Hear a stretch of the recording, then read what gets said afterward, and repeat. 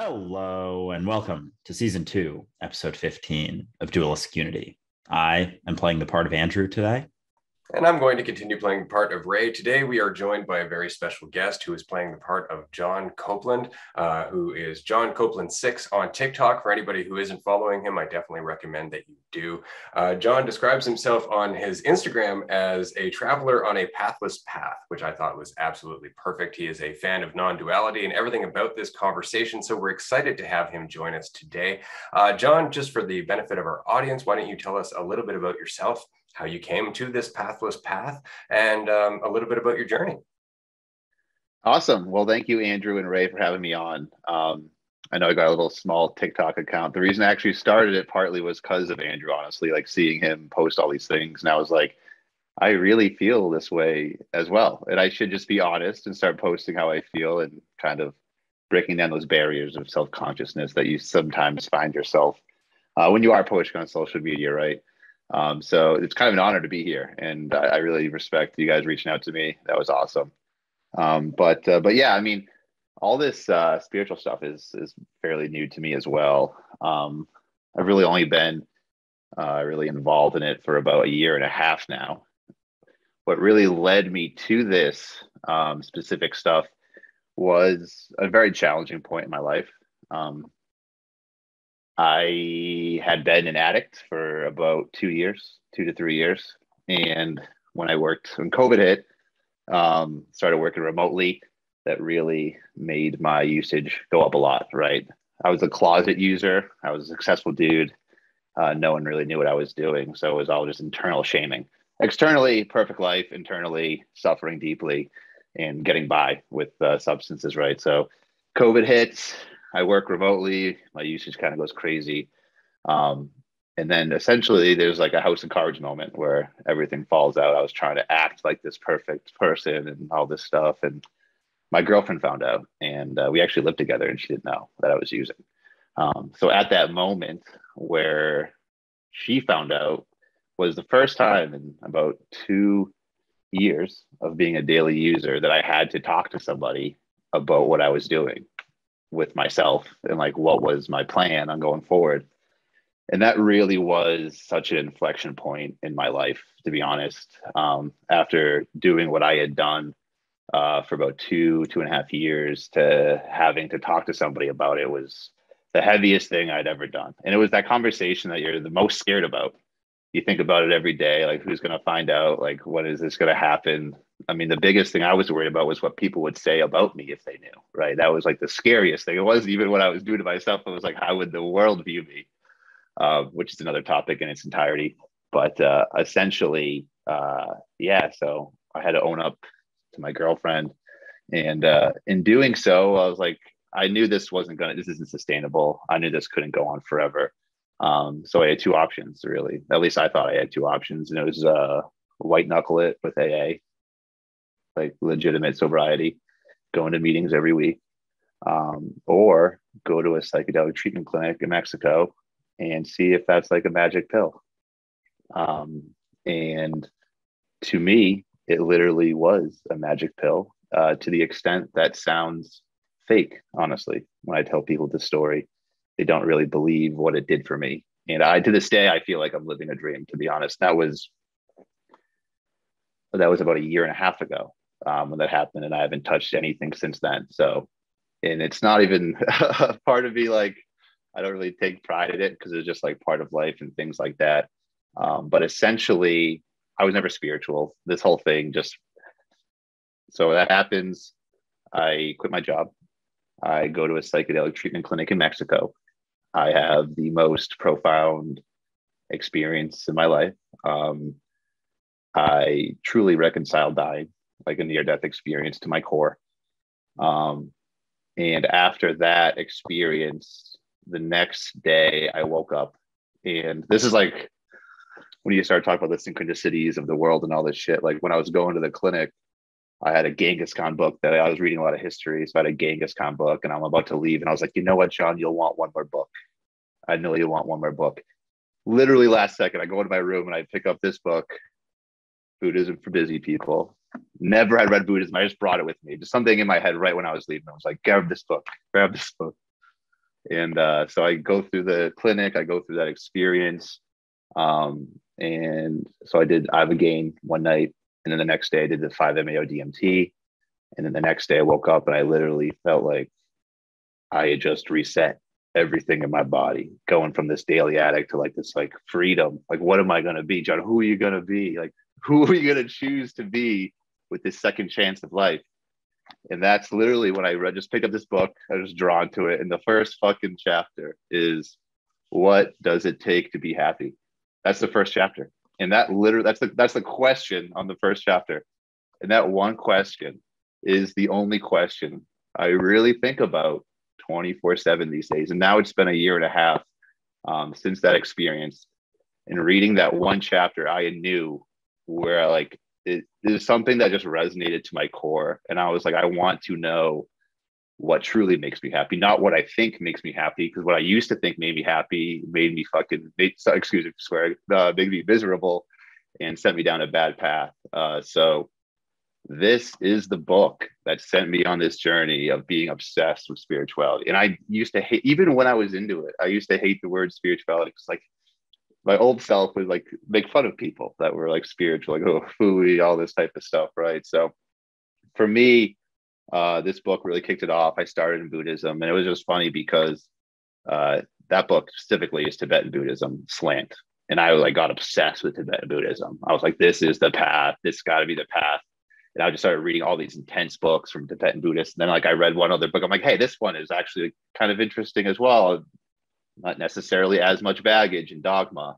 And I start just flowing through like that and then Zen and then Hinduism, like Ram Dass brought me to that. And then like this the Osho. I mean, everybody now, Rupert Spira, Henry Shukman, Adyashanti. I mean, all these dudes, these are like my idols these days.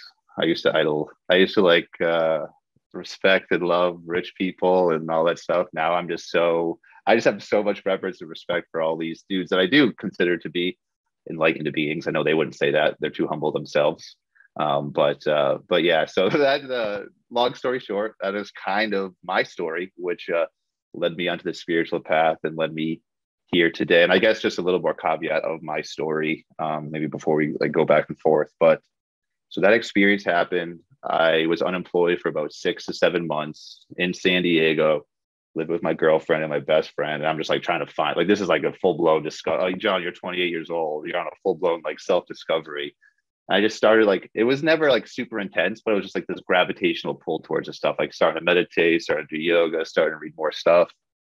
Um, and then uh, I was unemployed for about six, seven months. And then about March, I'd say, of 2021 was when I kind of noticed that I literally didn't have negative thoughts and that I literally felt like I had superpowers in a way where like I was truly convinced I was enlightened. And this kind of came out of nowhere. It wasn't like this earth shattering blowout oneness experience that people talk about, but it was one day and I was like, I literally do not suffer like anymore. And then like when you hear things like be here now, like I just was like, why don't people just be here now? It's so easy. Um, and that was something that lasted for about five, four or five months, like radical. Like it was radical for me. This is like this moment in itself, this like these few months, like shifted my brain forever. Like literally, and it's something that I'm like chasing to get back to. No, you shouldn't chase because you're never gonna get there. All that type of stuff. I get it. Um, but uh, I like was kind of convinced that like I was enlightened and I had insane confidence like it, it, it amount of confidence that I couldn't even describe. And it's funny because now I wonder, is that me just living out reality or is that me just like my ego kind of pushing this stuff in a certain way that's like gratifying me? I mean, I, these are the questions I have nowadays, but essentially, uh, I would say I, I, did have like an awakening experience that lasted for about four or five months. Like that was just pure bliss and love. And I was like convinced I was going to be like a spiritual teacher. I was going to be like Osho with like guiding all my minions to enlightenment. And then it kind of closed up a little bit. And then I started kind of like went away. Um, and there were a few weeks there that I was fairly depressed, to be honest, because I thought I lost this gem. When you like re- listen and read a spirituality, you're like, oh, I listen to people that were doing Zen for decades, and I'm like, what are they? What are they looking for? Like it's right here like I didn't understand, and I had all this like co- confidence and cocky attitude. Um, but uh, yeah, no, my conditionings came back. I had not uh, outrun my wheel of karma, so I got, I got work to do. Um, but uh, needless to say, I thought that experience was done, but that experience to me now is just a taste of what life can be like, and that's what is like motivating me and is the energy behind everything I do. Um, not necessarily to get back to that mindset because I don't know if that's possible, but to get deeper into clarity and get deeper into understanding life and what truly brings me happiness. Because at those moments, I felt so aligned on every aspect of my life. It was just effortless, right? And I did feel like I was just living through my intuition and not through my mind, which now I still live through my mind and occasionally my intuition. But yeah, so that's that's kind of what happened. And then in the middle of that is when I started just like posting random things on TikTok because I felt like I had all this. I was like, people don't realize like what I'm going through, and you, my friends and family aren't spiritual, so like I could say I could yell out as loud as I wanted to them about it, but they wouldn't know. So I was like, I, I got to just start saying some things, at least in a platform that some people might be able to understand. Um, so that's why I kind of posted on TikTok here or there. And then like eventually you get, you post enough and then things go viral, you get excited and you post more and I was more consistent with it. But yeah, I mean, TikTok in itself is a weird uh, little dopamine system that gets you all jacked up at times and tears you down at others. And then you feel like your dopamine receptors are not working properly. So that's another conversation to be had. But uh, but yeah, man, I guess that's what that's what's led me here today on this podcast with you guys. And I love what you both do. Uh, I know Andrew's like uh, obviously got a big TikTok following. You've been kind of in this for a little bit. Ray seems like he's the uh, mentor, the master in this group right here that we could all we could all learn from. So uh, I guess that's long story short. That maybe I, I spoke too long there, but that uh, that's kind of my story and what led me to this podcast today. No, we uh we appreciate all of that. That was fucking awesome to hear. Like that's exactly what we are hoping for. Give everyone a, a background and and what's going on here with our guest. And I I learned a lot. You know, I've been following you for I don't know eight nine months now, and absolutely love your stuff. But I didn't know most of those things. It was really cool, and and that sort of journey of of the suffering leading you to recognizing and kind of getting you to like this breaking point of identity and having the choice of one thing or the other and then seeing that there isn't anywhere to get and then feeling that way and then and then feeling like you're losing a little bit and then and then clinging on to like this thing that you you want to get back to only ever you know realizing that it's always here now for you and then having like lulls and ups and downs since like I resonate with that so fucking much, dude. And yeah, by the way, like swear swear all you want on here. There are, this is not a clean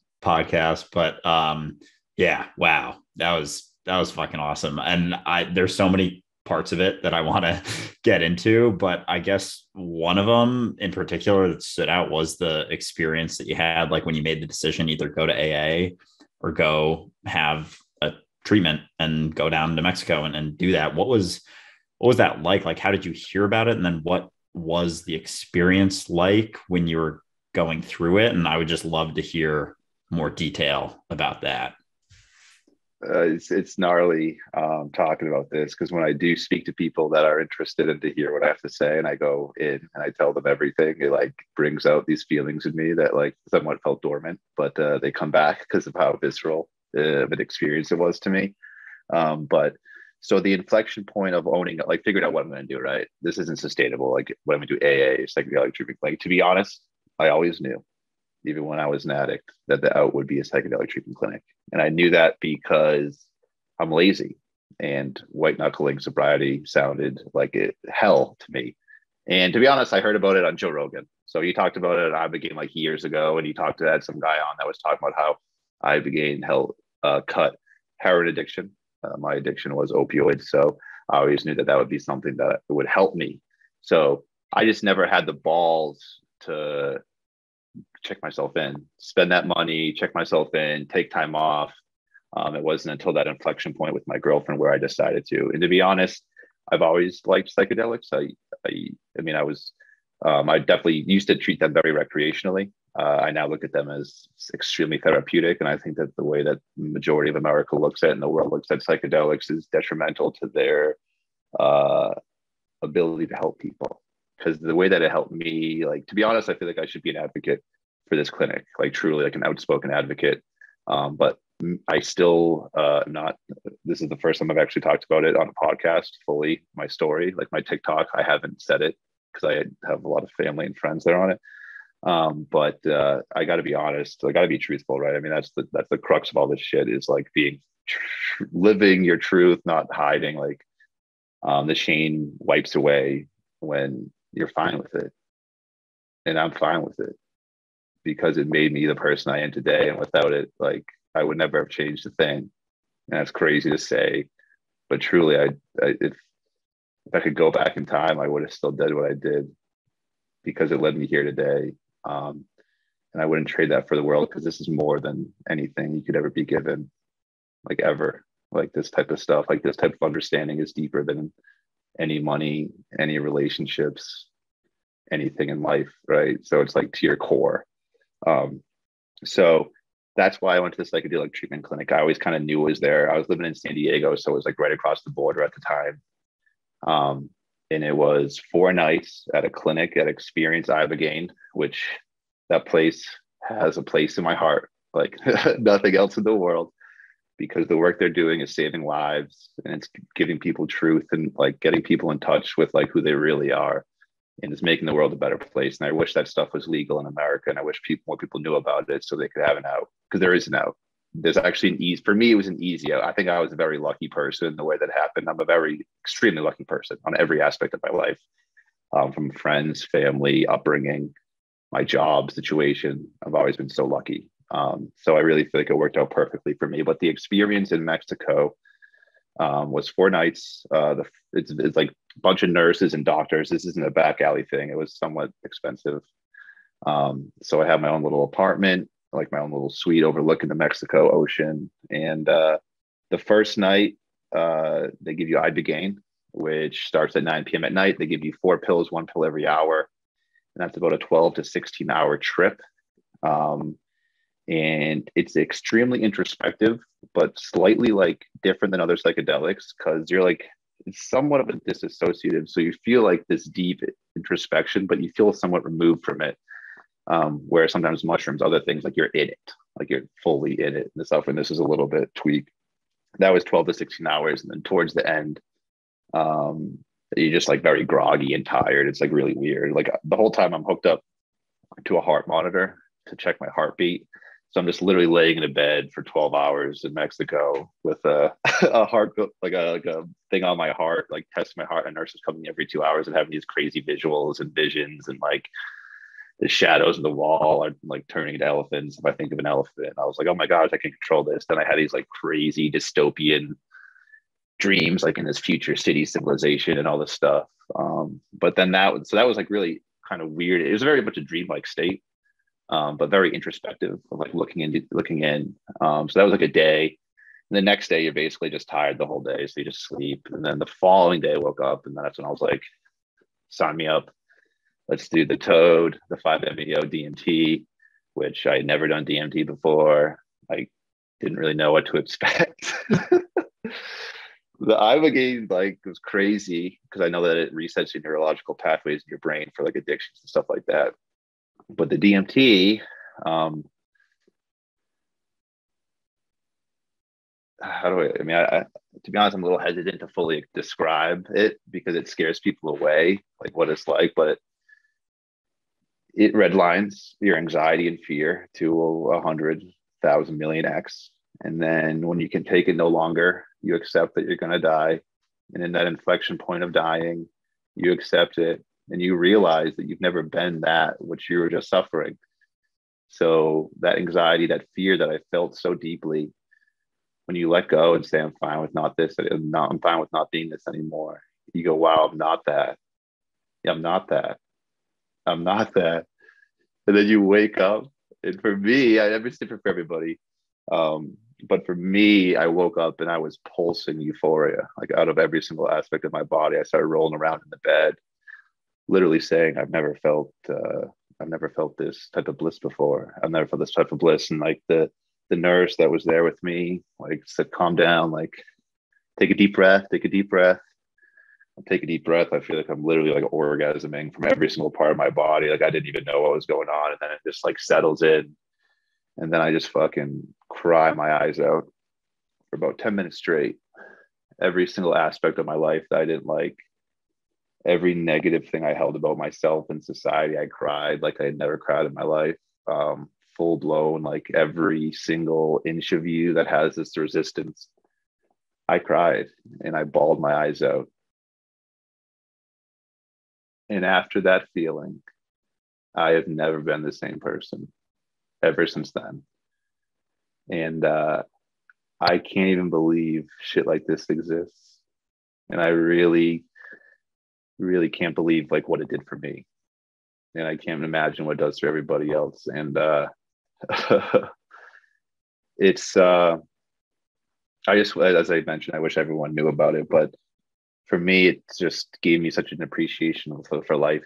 It gave me a second chance. And it allowed me to build up build myself up from like a new operating system. And what was the operating system that i chose? It was like buddhism and spirituality so now you can say jon instead of chasing a high on drugs. I'm chasing a high on meditation, which I know isn't necessarily good, but it's a lot more productive. um, but uh, but yeah, that was the experience for me, and it was just essentially it was a near death experience. So when you come back online, it's like how how are you going to live, Jon? How are you going to be? And uh, for me, it was just the best reset to start my life again, truly, and live out my uh, just live out like what I really am, as opposed to being deluded and thinking all these other stuff. So yeah, that was kind of that was kind of my experience in Mexico. I really appreciate you sharing that uh, similar experience in my own life about 20 years ago, but it wasn't it wasn't assisted by any means. It, it definitely wasn't under the watchful eye of, of anybody who gave a shit. But um, it was the end of the line. It was this or death. Like that that was it, right? Like there, there was just no more. There was no more rock bottom to pound my head against. It was this or, or nothing, and, and then all of a sudden, boom! There's that door and that was exactly it. It was it was like the door just appeared, but it had always been there. And I, I went through the same process of crying and laughing and crying and laughing. And I remember very much the next morning staring out the window, uh, which had been broken recently by crackheads who were targeting a neighbor. Um, and so it's cold, it's winter, and I'm staring out my, out my window, and everybody else is like, you know, why would you be happy in this situation? I've just got this big grin on my face, right? And, and it's just because I knew my life would never be the same everything that my life was up until that point was suddenly optional. It wasn't me. It had never been me. It's just that I had never gotten that. And as soon as I got that, it was like, oh, that's the path. Shit. Like that's the whole thing. And that's why I think it's interesting you got pulled towards Buddhism. For me, it was Taoism in a big way, right? Because it's the negation of the reliance on that self-image. It's the negation of taking that self-image seriously. It's it's watching the balance as opposed to picking a side right? And so it's interesting because you'd say, well, like that's the new operating system, but even that's kind of like operating on top of the machine code, which is just that knowledge that you're not what you think you are, right? It's it's that state of being, and so even as we oscillate back and forth, and we talked about this previously, there's always that that sense of, of direction now that you don't lose. Like even when you get lost in stuff, you still know, like I'm getting lost in stuff. You know it right? As opposed to getting caught in it and forgetting it. And, and I find that to be one of the most important things that I learned from that experience was just the recognition that there was something to get caught up in, that there was an illusion to see, right? Because that up until that point, I didn't realize that I was reacting to it all the time. So I really appreciate you sharing this story. And I know with our audience in, in particular, it's going to resonate with a lot of people, psychedelics or not, because, and this is something I wanted to add that it wasn't just the psychedelics nor nor the clinic that you went to so much as your willingness to change your willingness yeah. to face it that point in your life because the two had to converge because I, I had done psychedelics many times and and just you know sat and giggled at the nature of string. Like it didn't do anything profound because i wasn't ready for it to i was avoiding it. Right. So i, I find that to be an incredible story. Thank you jon. I really appreciate it. My pleasure. It's uh i get so much enjoyment talking about it because I know that it can be a message that someone else could hear and know is true, right? Because I'm speaking from like the depths of my being. Um, this isn't a story just to be a story. This is like my lived experience that radically shifted my life. Um, but uh, yeah, to, to your extent, like the north star. Like for me, it's like a north star, right? No matter what I'm in, no matter how much I'm suffering or um, upset about this or that, or maybe drink like drinking more than I should. Like it's not like I'm completely sober. I don't do opioids anymore, but I still drink and stuff like that. But I I know I know that like no matter what I go to or go through, like the the the north star is like silence and peace and stillness. It's not covering it up. So I gotta that having that north star makes my life easier. makes my life so much easier in extent I can't even describe to people. You say this to people, they're like, "Oh, stillness, peace," but when you truly like feel it and live it, it's like that is it. Like I can go down these paths, I can get delusional here or there, um, but that's my north star, and that's when that's always like when you're just chasing, like when you're just chasing silence and peace, and that is really the goal. You always have the ability to get there. Whereas with like drugs and status or money or power, like it's it's a constant chase, but the stillness and the peace is always there. Um, and for me nowadays, I like I'm up. Like I never used to be a big hiker or nature guy, but now I just like my girlfriend's like, "Why are you staring at the tree for ten minutes?" I'm like, "Why would I not be?"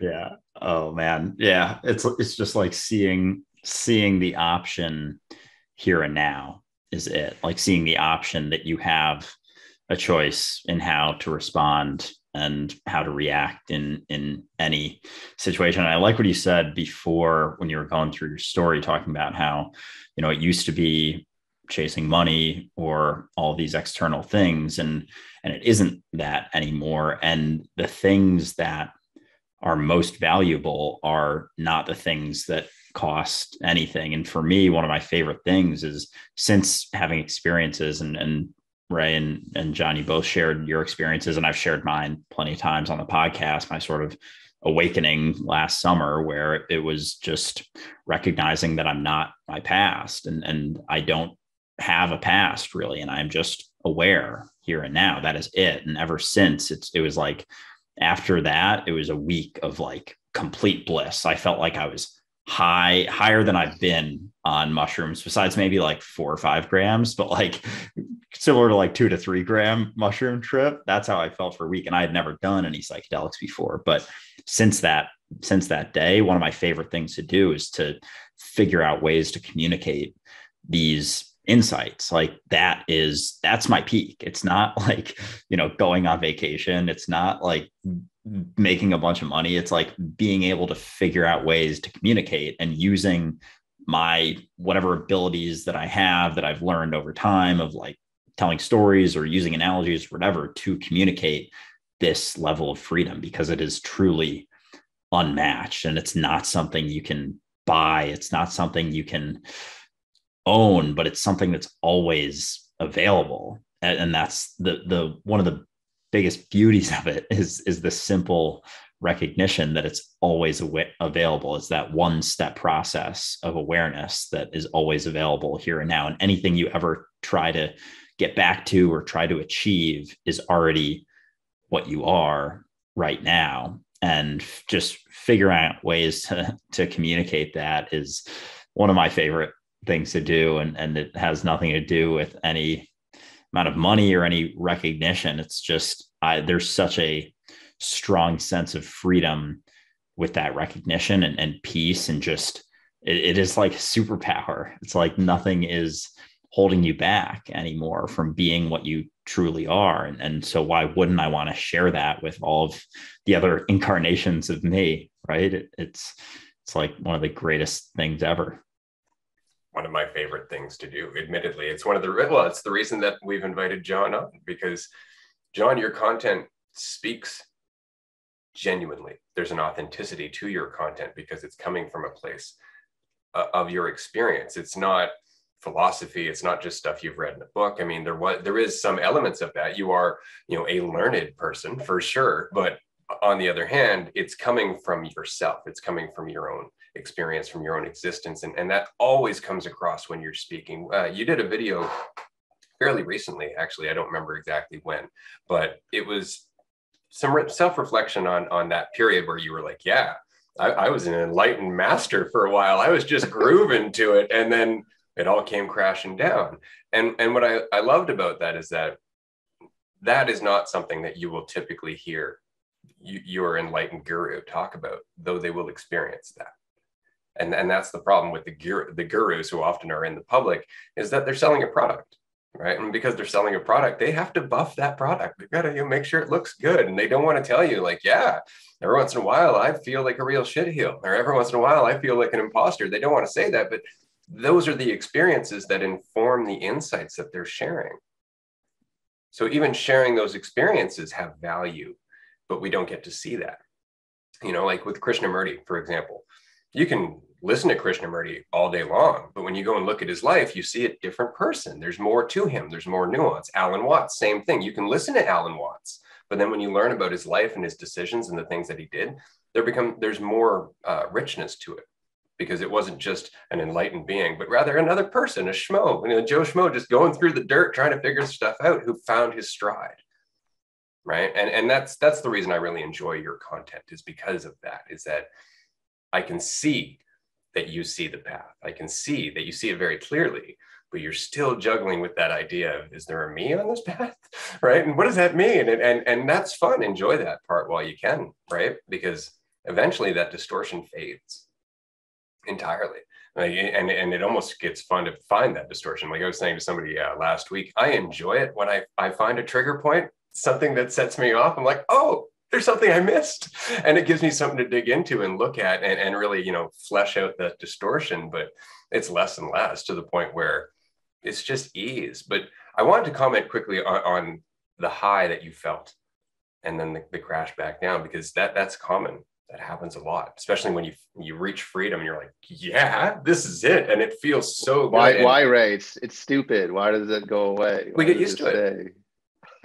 you get used to it. we get used to it, right? And so we start to take it for granted. Yeah. We start falling back yeah. into time. It stops being as fresh, right? Because that state of being in the moment, being fresh, of, of being uncertain all the time, it's like, you know, riding a tightrope, right? You can't yeah. ever get comfortable because as soon as you're comfortable, you're starting to stagnate. This is why Andrew and I used to joke in season one that I, as soon as I'm comfortable, I get uncomfortable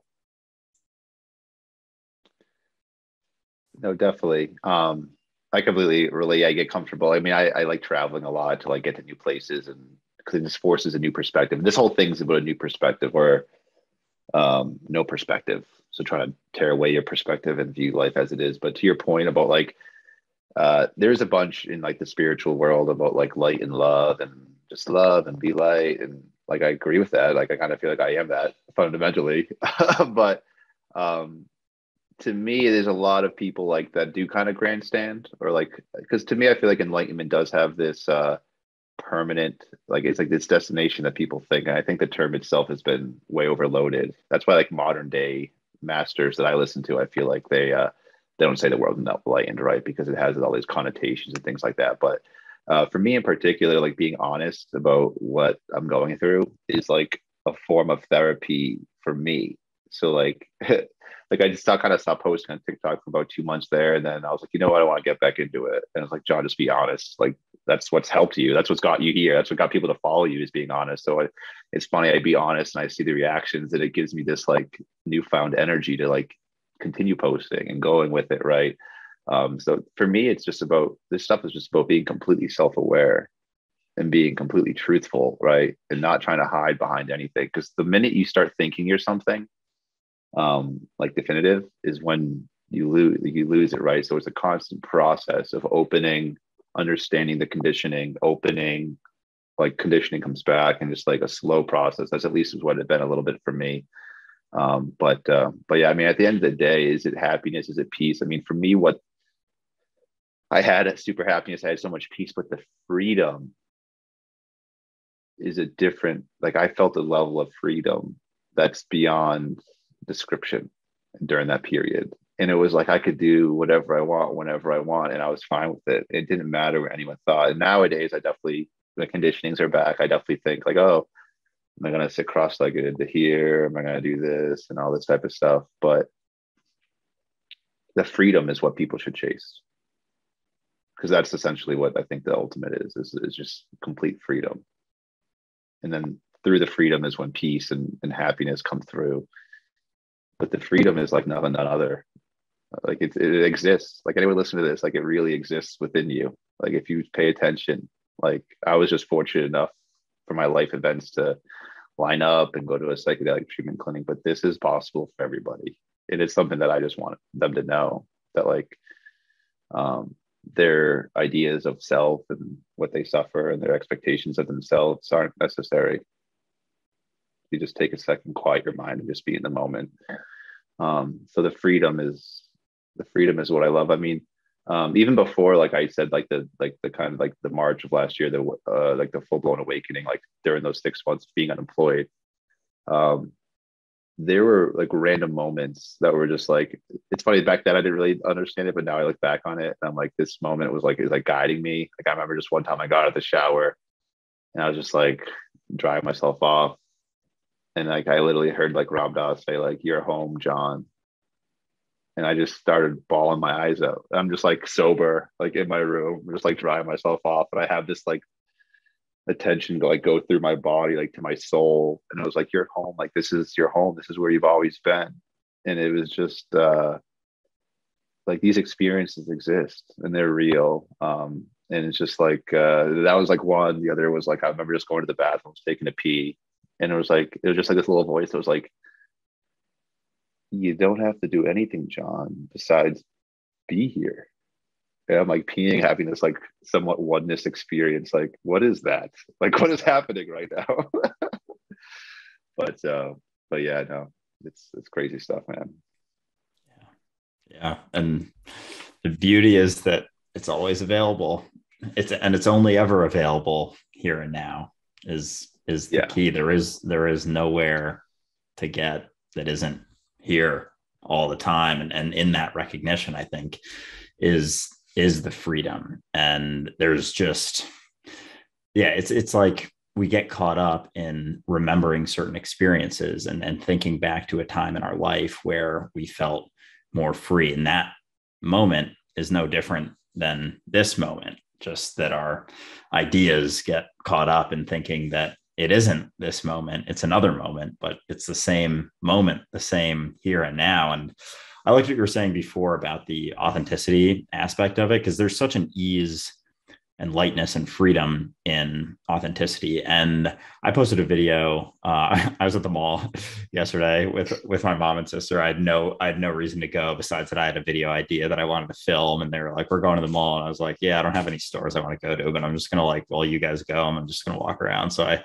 walked around, and then someone commented on. I was talking about how just like judgment everyone's the reason for judgment and people do it to feel better and it's double-edged sword because as you rely on other people or as you rely on your own judgments to be the truth you see that other people's judgments are also will be taken as the truth by you. And and so there's no reason and and most of the people aren't going to be judging anyway. But someone commented on a video do some do some weird dance in in the mall. So i i just like propped my phone up. It was on the way out. I was going back and forth like oh fuck like do i want to do this? I'm going to be so uncomfortable doing this. And finally it's like as right as my my mom and sister had already walked out of the mall and i'm like fuck it i put it up did some like funny dance and then left and someone some people commented like a lot of people enjoyed it, but some people were like, "Why'd your face get red?" Like I thought you didn't care what people thought, and it was funny because it was like, well, you see, that's that's not the key. Isn't to to never get nervous. The key isn't to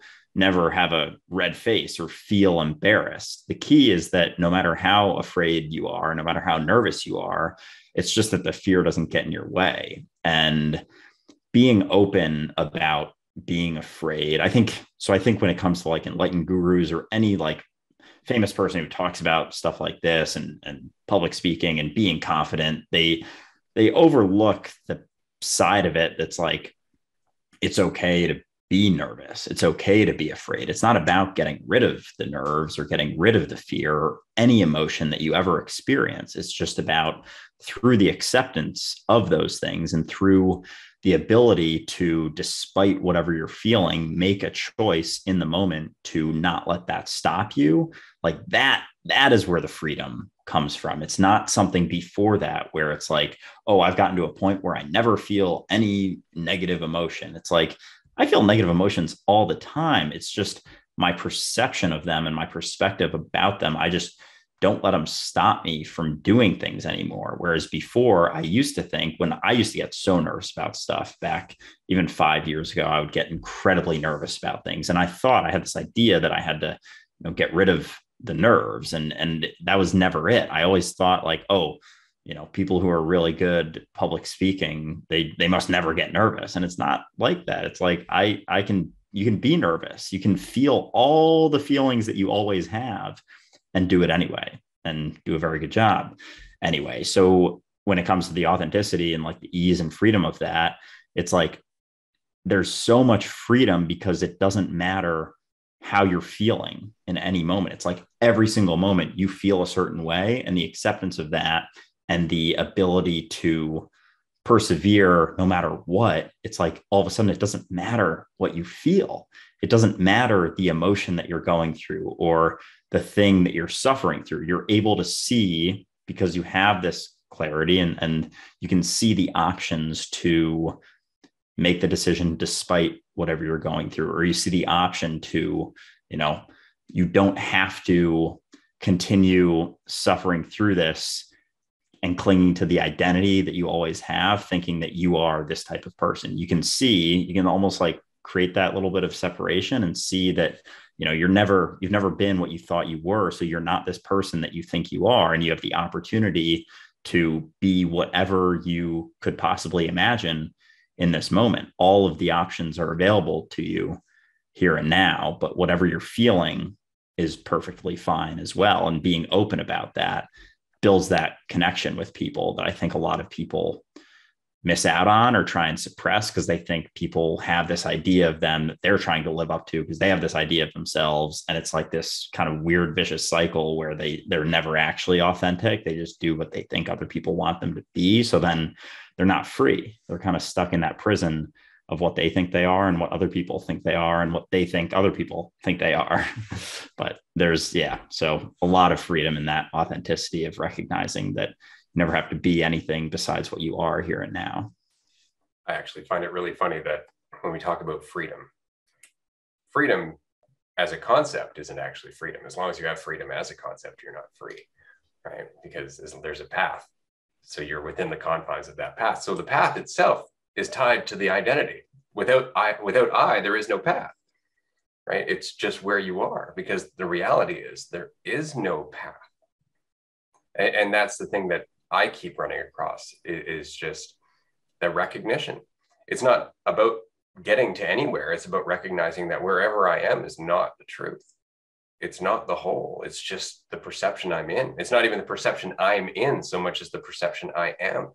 Right. This was something that Krishnamurti said, and, and I, I really resonated with it when I when I read it, was that it's not that you're experiencing anger, you are embodying the reality of anger. You are anger incarnated.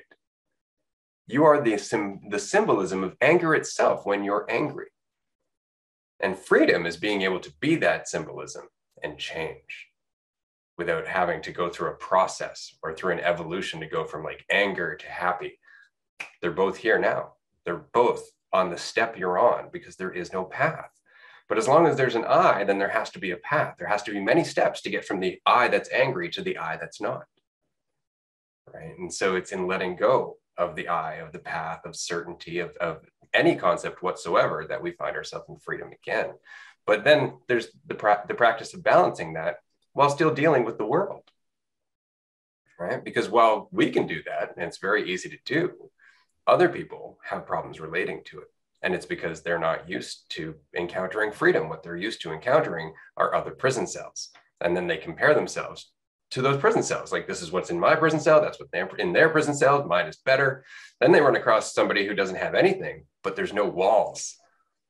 So there's nothing to compare. It's like there's not even an argument. It's like you're in prison. I have nothing to compete with. I'm free. And that's the reality of not having a path. Right. But then there's the path to realizing that there is no path. Yay for paradoxes. I mean, that's the thing, right? It's all just so paradoxical. And Uh, when I first started reading all this stuff, I remember getting a Zen book early on, Zen Mind, Beginner's Mind by Shunryu Suzuki. I remember like reading it and being like, this is like, I, I don't understand any of this.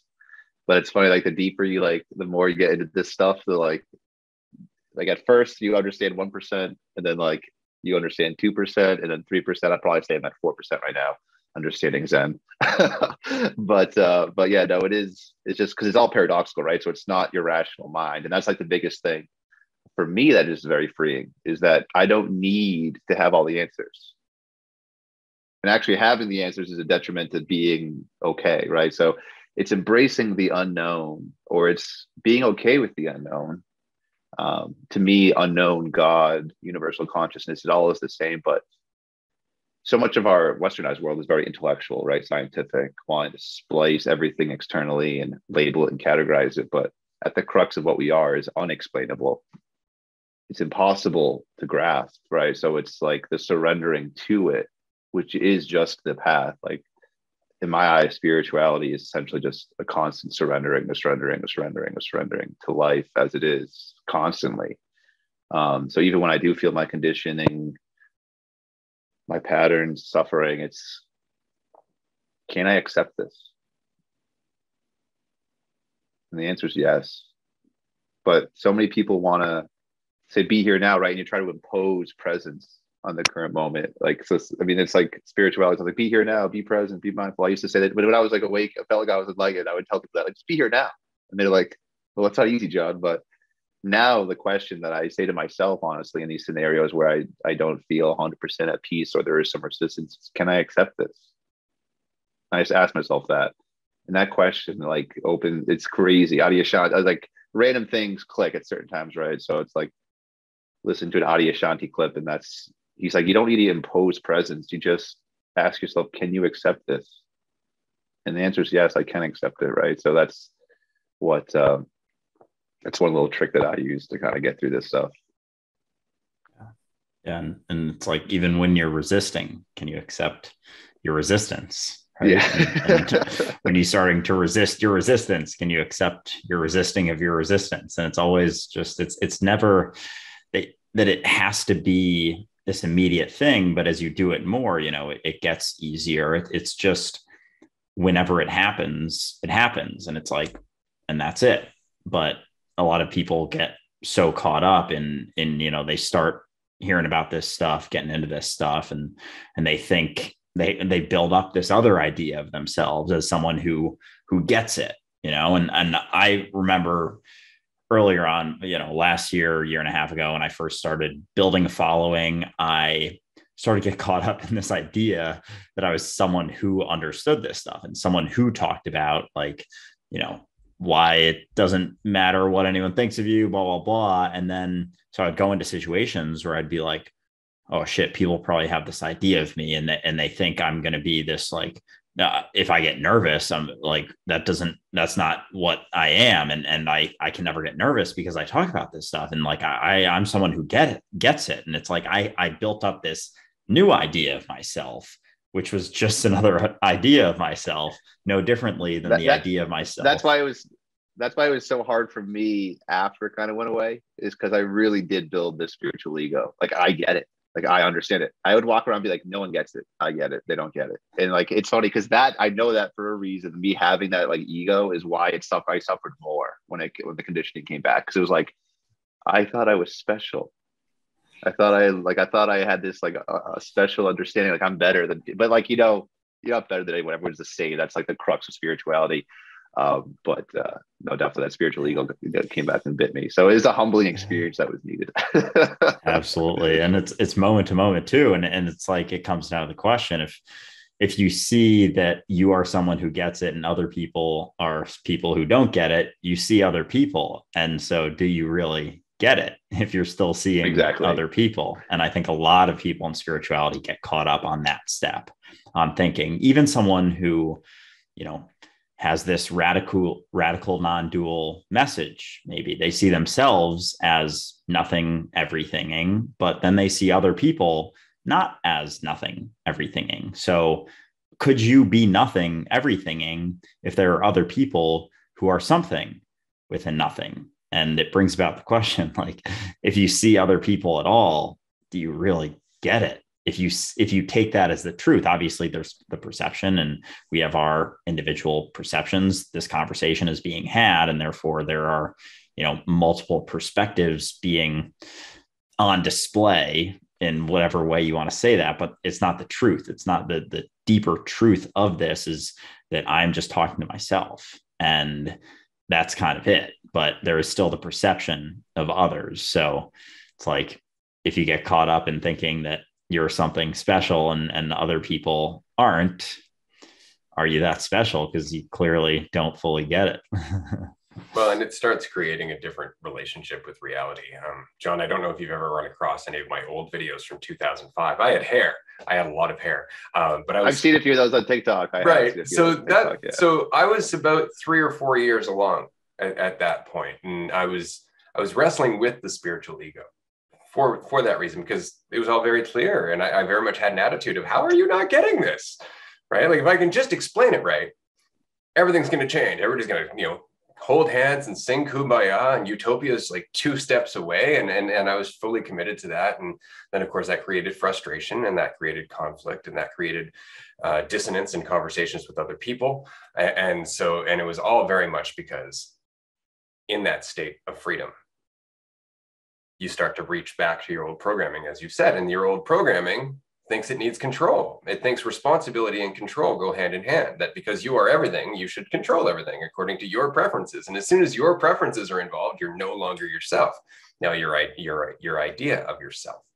And so I had to walk away. I had to leave talking to people in general because I had to reconcile who am I trying to tell? Who am I trying to convince if it's me?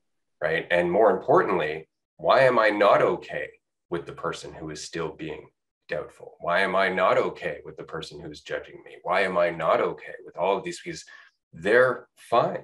There's nowhere to go. There's no place to achieve in terms of consciousness or enlightenment. Everything is what it is. Everything's perfect already. Why am I still having issues with this? And it's because there was still an I, right? And so that became the path there was to walk away and recognize where I was involved, where I was in the way in everything. And it came down to you know, being impatient at the grocery store. Like, I don't know what's supposed to happen, right? I don't know how fast I'm supposed to get to the next location or what I'm supposed to be doing. Like, there's no separation. So I need to remove the, the division that I perceive from the story, which is humility, which is faith, which is just getting out of the way. It's all of that stuff. And so you end up getting closer and closer to a state of, of just fluidity. It's not even about spirituality. It's not about an enlightenment. It's about just being what is and allowing that to flow as you. So the separation between what you're doing, what you think you're doing, right? It disappears. Like you were talking earlier about uh, crossing your legs and then thinking like, oh, maybe I shouldn't do this because somebody might be judging me for crossing my legs. And what I find funny about that is that there's two different things happening, right? On the one hand, there's the actual process of you going, I want to cross my leg, and it happens. And then there's all the thought that happens on top of that. And then you actually go, well, maybe I should put my leg down. No, I don't want to put my leg down. My leg is comfortable. And then its leg starts to get uncomfortable. And you're like, no, if I put my leg down, is that a sign that I'm giving in to what people think of me? right. And you go through this whole process. And the fact is, is that your body is just going, oh, I'm going to put my leg up. No, that's not comfortable. And it puts it down. And we get in the, involved and we distort it. We put this narrative involving other people and ourselves and this whole thing. Regardless of all of that, the same thing is going to happen. It's the experience that we're having internally that's different. But what is still is. We are still part of the flow. We are still not separate.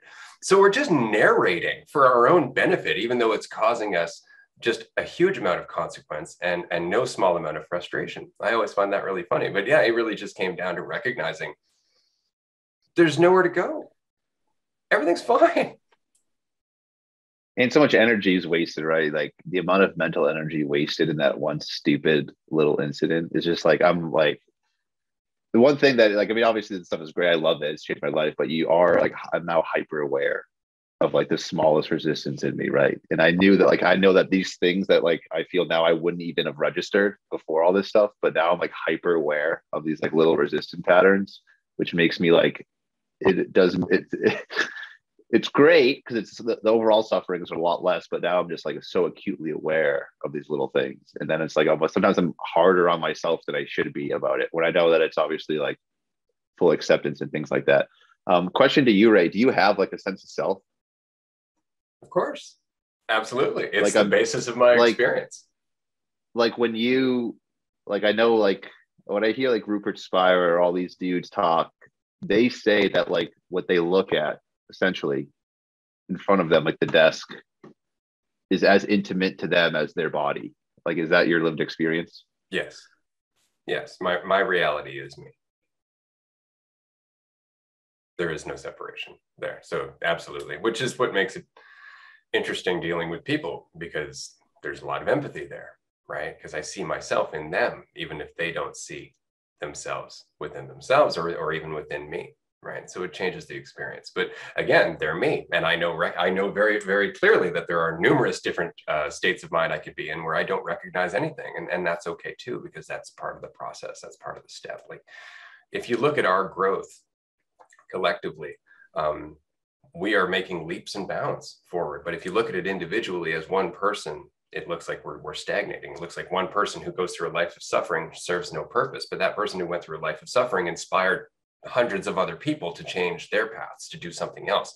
Or maybe to go in, down a life of suffering themselves which change more paths. And so there's so many intertwining stories but they're all the same what is. It's all the same thing. And, and it's all just constantly reflecting unity. That's the funny part about this is like as divisive as it may seem the fact is, is that nothing's divided. Nothing is is dualistic. It's all unity. All of it all the time. It's just that we get in the middle. And so it's just maintaining recognition that the experience of division is not the reality of division. Right? You can experience division, that doesn't mean it's, you're divided. Right? That's the beautiful part about experience. It's meant to be divided. And actually, I wanted to cover this quickly because somebody in Discord was asking Is it possible to achieve a state of non duality, of just unity? And I would say that we're always in that state, but we're doing stuff on top that we're distracted from that state. And we call that distraction identity. We call that distraction narrative, other people, you know, the, the perspective of duality, the illusion. It's just our commitment to it as truth that, that distorts us because the path isn't letting go of duality. It's recognizing that it's not real, that it's not the truth. It's not what is. It's only one side or the other. Right. And as soon as you recognize that, that deeply enough, there is no more I to really dwell on. But there's the experience of I to embody which is a different thing. And this is going back to the, the, conversation that Andrew was referring to earlier. We were talking to somebody who was saying that there was no sense of me. And I'll call bullshit because there has to be. There has to be a sense of me. It doesn't mean there has to be an idea of me, but the very function of your experience is the sense of me, the division between the observer and the observed, right? That's experience. Without that sense of me, there's no experience, which is why meditation is so much fun. So meditation is complete surrendering of division, of duality, of experience as a whole. It's achieving unity. It's feeling unity. It, it doesn't lie within the same dualistic, uh, dualistic spectrum, right? Death, same thing, right? But here on this plane, experiencing things, duality is a good thing until we take it seriously and we think it's truth. That's fascinating. Yeah. Yeah, that that whole idea we talked about it uh, maybe like six or seven episodes ago, but like that duality is unity. Like there isn't. It's not like these two separate things where it's like, you know, it used to be closer to unity and now it's like further from unity. It's like it's always been unity, and we're just perceiving it dualistically. We're perceiving the division, but division is only ever perception. It's only ever conceptual, and so it, I've been thinking about this a little bit because I, I, was actually watching a Alan Watts speech recently, and he was talking about how division is completely conceptual, and there are no separate events, and there are no separate things. It's all just right now, eternally, and we perceive division based on where we conceptually end things and start things. Like an example he used was the sun. We say it's it's X so far away, but that's just visually. But we feel the sun. So we are only perceiving the division of the end of the, the physical sight, the, the light of the sun. But then we feel the sun. So does the sun end at where we see it end with our eyes, or does it end where we feel it end at our skin? And so when it comes back to our idea of ourselves, that is only conceptual as well. And so if you think about the impacts, the ripples we all make, if I, you know, if any of us make a video and it changes someone's perspective, do we end at our skin or do we end at the impact that we have on the world? Like, is is the is am I ending where my impact ends? Am I ending where the furthest person can hear my voice? Am I ending at the furthest thing that I can hear? Am I ending at the furthest thing that I can see? We typically just settle on, oh, I end at my skin. Uh, this is, you know, the idea of myself is my skin and my past. It's things I've done, you know, what school I went to, what I'm good and bad at, all these things I've experienced. But those are all concepts as well. And we could choose any concept to end this on. You could choose I end where my impact ends. I end where my ripples end. And the funny thing is that the ripples are always being made. And the ripples that we make on those maybe closer to us are being made on those then are being exponentially rippled out throughout all of existence. So it's like when you think about it like that, in the in the idea that division is only conceptual, it's like where where do you end? And that's when things start to get a little bit trippy when you start to realize that you know the the physical sight of things may not be where you end. If you think about all the other senses you know what's the furthest thing you can smell? Is that where you end? It's, it's all conceptual and it's so fascinating that all of the division that we experience is conceptual no matter how we want to splice it up yeah, division, difference is not division, as we've said pre- previously, right? And we tend to take it that way, that because there is a difference, that means that there, there's a division there, right? Because the ocean looks different than the land, they are not the same thing, but it's it's the same thing expressed differently, right? Each and every person, each and every living thing is the same thing expressed differently. It's reality. What is expressed differently? And this is something that Andrew and I circle around a lot on this show is that when you remove your idea of yourself, when you really break it down to just awareness, the phenomenon of awareness that that you are, you are the awareness of reality, which is the awareness that I am and the awareness of everybody else. We just superimpose our thought about ourselves on top of that, but we're all the same awareness. We're all the same I with infinite eyeballs, experiencing infinite different perspectives, right? From the same state of being but we we alternate the experience of that state of being according to the illusions that we commit to or, or the illusions that we're caught within right? All of which are, are based on identity and the perspective of division which is a biological thing. We have to learn the perspective of division just to be able to experience this but we have this capacity to look beyond our physical experience. We have this capacity to look beyond our pain and our suffering and all of the things that are, are part of the narrative to experience freedom and the freedom that we're experiencing is the state that always is. It was the blank slate we started from, right? It's the state that's always going to be, and every living thing will always express forever. So we're all the same eternally living being. See, I know that, and like I'm deep into this stuff, but like I don't feel like my like my day to day lived experience is like the desk is as intimate to me as my body. Like I, I just like I'm not gonna lie and say that is my lived experience. So I do feel like there's like a lot more embodying to do with this type of um type of work, you know. But uh um I mean I could ask you guys questions all, all day. I, don't, I don't know how long you guys want to how long we're gonna be doing this for.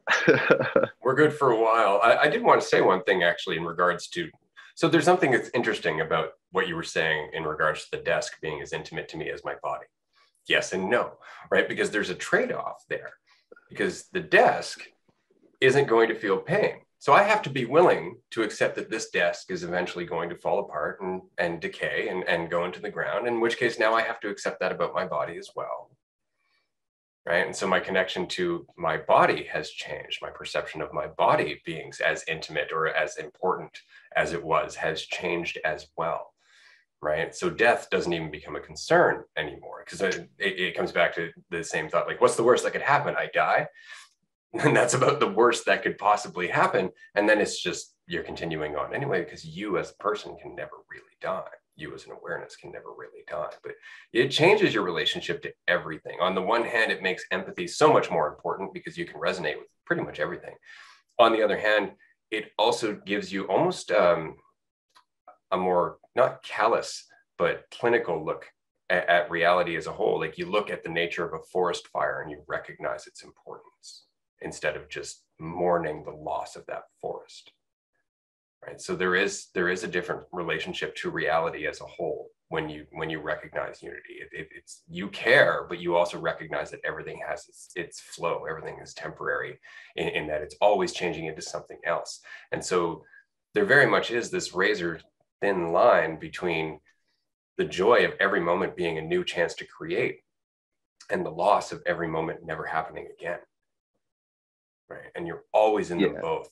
You're always in them both. And the trick is to walk between them or to be them both without settling on one because as soon as you do you're back to the i. Right? And that's where the fluid yeah. the fluidity starts to stagnate. See that that one though you said about the death thing like my experience in mexico really did like kind of shoo away my fear of death. Like truly like don't get me wrong if like a car comes near me am i'm gonna flinch like obviously i guess i'm not like i'm still want to preserve my body but like the when people like really question like what's the afterlife or like what happens that like really i'm like why? I'm like you just like for me it's like we just return to universal consciousness right? Which is our home which is what we're like yearning for. So it's not like there's a hell or heaven necessarily. It's like we're going to just our source which is like universal consciousness. Um in terms of like obviously awakening uh, kind of matures specific aspects of yourself. I've, I felt that within myself, but I do wonder if awakening is like, is that just the tool to make you a better person fully, or is there like work you have to do in maturing and growing up as that self? Like, do you think in a like a full blown awakening and I, I, guess I'm coming from a, an angle of a lot of people that have been enlightened masters haven't really acted in the most ethical ways. And I like was truly convinced that these people are like enlightened. Then you read about some of the stuff they do, and I'm like, how could they do that to people if they are truly one with everybody? How are they inflicting harm? Do you think there are uh, like different aspects of growing up and waking up and that like are necessary to live a fully embodied like loving presence? I don't know if that makes sense or not. Yeah i think that's a very interesting question because it brings about the idea of a path is what i kind of hear with that. And i actually want to go back to one of the things you said with the afterlife is is going back to like source and like unity consciousness and the interesting part about that is there's no division between this and that. We are there. Yeah. Now, here now. There yeah. is no separation or after life. It's only it's only life here now mm-hmm. for eternity. So that's that's what I kind of meant with like the duality is unity.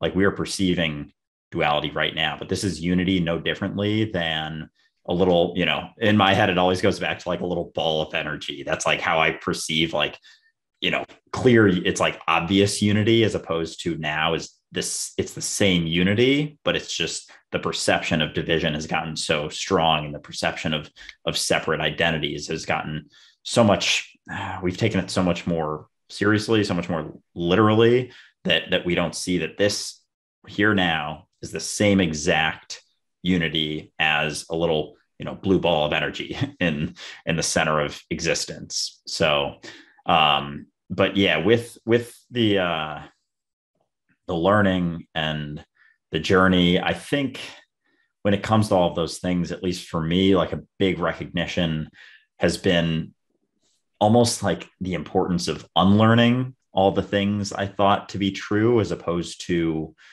you know, reading a ton of books. I think reading books is is absolutely awesome for a lot of people and and can help them recognize things that they may not have before. But like any other practice it's not a requirement to recognize any of this. And i think something that can be even more important or, or more helpful is, is questioning everything you think to be true. It's not necessarily learning more on top of the reality of unity the reality that i'm here now but unlearning that you all of the perceptions that you've had thinking that you're anything besides what you always have been here and now. So i for me at least it comes back to just a constant questioning of things that i get hung up on thinking that i am and recognizing that i'm not or thinking that things should be a certain way or shouldn't be a certain way or or perceiving a situation to be a certain way. It's just the recognition that it's never how i think it is. It's that's just my individual preference my unique perspective of it. And so it just comes back to in every moment the most beneficial thing to me has been just questioning all those things and recognizing that they're never the truth. And any ideas i have about myself that i perceive you know this idea of myself to be is never what I actually am. And so that has been, if any, if I have a practice, it's that it's just questioning everything I I think I am to the point we talked about it last episode that you get to a point that you no longer assume initially. So as important as it is to question everything, you, you'll get to a point eventually where you no longer need to question everything because you're not assuming things to be the truth to begin with. So a big part for me has been unlearning everything I, you know, thought to be the truth. Yeah. And I want to go back to this for a second, Jon, because this is a good question. You got me thinking now.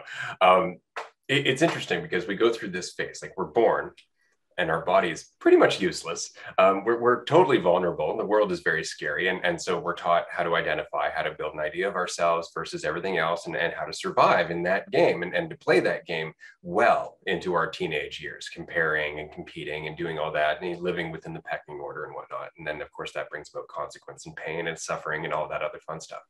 And so we, we get through that and we recognize, okay, maybe that strategy uh, holding on to that strategy as truth, identity, wasn't the best idea for me. And then we have a recognition of unity or recognition of what is, which is not our identity. So now we have this recognition of unity and we go out into the world. But just like when we started building our ego, we had to go through a whole bunch of experiences to try that ego out, right? To let it develop, to, to go through different situations back and forth and go, oh, I'm going to adapt it this way and adapt it this way. Well, we have to do the same thing with the lack of ego right? It's like that expression, like, uh, or, or the story of the guy who went up onto the mountaintop until he became enlightened.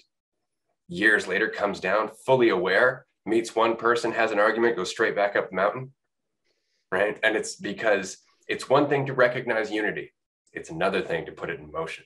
It's another thing to be looking at somebody and to recognize your triggers being reflected back to you because they're not following your script right? They're not following your ideas of what unity and enlightenment are or any of that, right? And so, yeah, there is this this kind of process of, okay, I'm not what I think. I'm going to go out into the world. Oh, that person just smacked me. I feel really defensive. Oh, I'm thinking about myself again. And and so it's it I got to do that. And then you come back and you recognize you don't need to defend yourself. The next time you interact with somebody who smacks you, you're a bit more empathetic. You know, you're you're not trusting, but you're vulnerable, or at least more than you were right? And so it becomes this process of, of realizing over and over and over again that the strategy that you're habitually reaching for that you built your whole life is in fact failing you just over and over and over again because that's all that's happening. You've had the insight you're like that's not me but then something comes along threatens you and you immediately reach for the thing that you've always used to, to protect your sense of value and certainty right? That's it it's just habitual always been there right? And so yeah once you hit that point of awakening get out in the world get people to frustrate you get people to challenge you because it's in that that you really see what you're still holding on to. You really see the identity that you still cling to for certainty and for protection right? And it gives you a chance to let it go if you decide to let it go. Or you can go i know better than that unconscious person and you can ignore it and treat them badly and justify it because you know you're aware and everything is anyway yeah so it's like a constant it's like a constant clearing process right? I mean that's like it's like some people call it teachers call it post awakening it's more of a clearing process through like understand because I, I am hyper aware of my resistance patterns so it's like trying to like not feed them whenever they do happen. It's like Ram Dass said what he said when you know how to listen everyone's your guru. So that's yeah. like when nice, you really like try to like then when, when you really do try to like live that truly like on a day-to-day experience um every single moment of the day can be i also feel like because this stuff is just in my head 24 7 like it's not like i can just like put it off. Like there's like back in the day i get interested in stuff and it would go away. Like this is literally always here within me. And i do wonder if i'm like over intellectualizing it because i do read a lot of books. I do find it fascinating i love reading spiritual my biggest thing is i like reading spiritual biographies of like people that have really um, gotten high. That's like what i like the most uh, but I do wonder sometimes if I, t- I do wonder if it might it would honestly be better for me to step away, don't read books as much, and just like go try to like live my normal life. Because I've heard that that's like a way to get deeper into it when you just like hyper obsess over it over and over again. Sometimes it creates these uh, perceptions or filters that like you don't see because you're in it. So I mean, I I mean I guess I mean I know it's here now. Everything's always here now, but I I do know that there's a lot more um, obviously a room for me to develop and grow into this stuff and open and surrender. So I'm always trying to look for what's the what's like the best path to go or things like that. And um, I mean, uh, like I, I mean, obviously there's so many different meditation traditions, right? Like Vipassana or like uh, uh, Dzogchen, uh, Advaita Vedanta, like all these types of stuff, right? Um, I'd be curious to know, uh, Ray, your experience or what your thoughts are on like what's path leads to an easier liberation. Um, would you say like the Advaita Vedanta Dzogchen path or like the Vipassana, like intense concentration meditation? What are your thoughts on those? I, I'm always one for um, just fo- attention, just attention, right? Just awareness and attention. Yeah. And and the thing with that is that it's a fluid being. It's not a practice. Like you you can't sit down and go, I'm going to pay attention to my breath because your thoughts are going to pop up, in which case you're going to go, oh, okay, I'm going to pay attention to my breath and my thoughts, right? But then you're like, no, hold on. There's the silence beneath my breath and my thoughts. I'm going to pay attention to that. And so it's more or less just the attention just keeps flowing from one thing to the other, to the other, to the other, until you realize there is no I that's paying attention, that you are, in fact, attention itself. You are reality. The, your focus is, is existence as, as a whole. And as soon as you're there, it doesn't matter what you're doing. You can take a walk, you can read a book, you can watch TV, you can do whatever you want because you're no longer trying to get anywhere. You're free. Yeah. Right. So I stopped meditating years ago in terms of sitting down and making it a practice. I just don't do it anymore. And the reason was because it started becoming a crutch. It started becoming something that I felt I needed to do in order to maintain balance. And immediately that's me losing losing strength. Right. I can feel that because it's like, oh, I've just put a condition on my balance. I don't like that. And, and so I walked away from meditation to the point where I started recognizing that meditation is something you can do in each and every moment as it's happening. And it's so much more important to be able to do it when you're in rush hour traffic, frustrated, than it is to be able to do it cross legged in your room by yourself.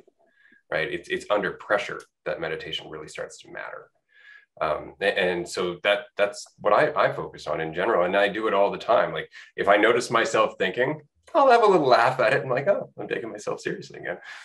And that's it. I'll just remove from the process and then allow it to continue happening while i enjoy my existence. But yeah it, it is a process. But i would say if you're going to practice anything it's whatever it is that resonates with you, not somebody else's practice. The more you can walk away from other gurus, in my opinion, in my experience, the better you get at this stuff. Like I don't read books about this stuff anymore. And, and honestly, it's because that too becomes a crutch. Other people's words, other people's ways of expressing this, right? The fact that you think that they're other people, right? Like when I read a, a book now by, say, Krishnamurti or Alan Watts or anything like that, I'm reading myself. I'm reading me right? So that means I don't need to read it, right? But it took me years of walking away from those books to really get that. I could tell you that. I could say, oh, yeah, I know, I know we're all one consciousness, blah, blah, blah. But it wasn't until I was in those situations of frustration and I didn't have the Dhammapada to reach for, or I didn't have the Tao Te Ching that I had to go, right, what do I know? I know I'm here now, right? What do I know is not? Everything I'm thinking.